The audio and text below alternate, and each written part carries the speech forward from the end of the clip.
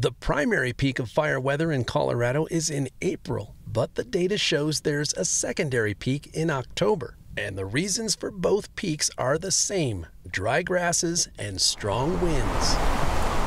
October is one of the windiest months on the Front Range and Eastern Plains, and high winds make it easier for fires to start and they can spread fires rapidly. Over the summer months, the jet stream retreats north into Canada, so wind is not typically an issue. The grasses are also green in the summer, helping make fires less likely. In October, the grasses are starting to cure, which means they're either dying or going into dormancy, and the temperatures can still be warm enough to add that final ingredient to fire weather. It's less common to have fire weather over the winter months because of the colder temperatures and occasional snow cover, but we've seen that fire weather can emerge at any time of year. The Marshall Fire in 2021 and the Logan Phillips Fire in 2017 were both wintertime fires that started and spread rapidly in dry grasses. In both cases, it was unseasonably warm and the winds were stronger than 70 miles per hour. Meteorologist Cory Reppenhagen, 9 News.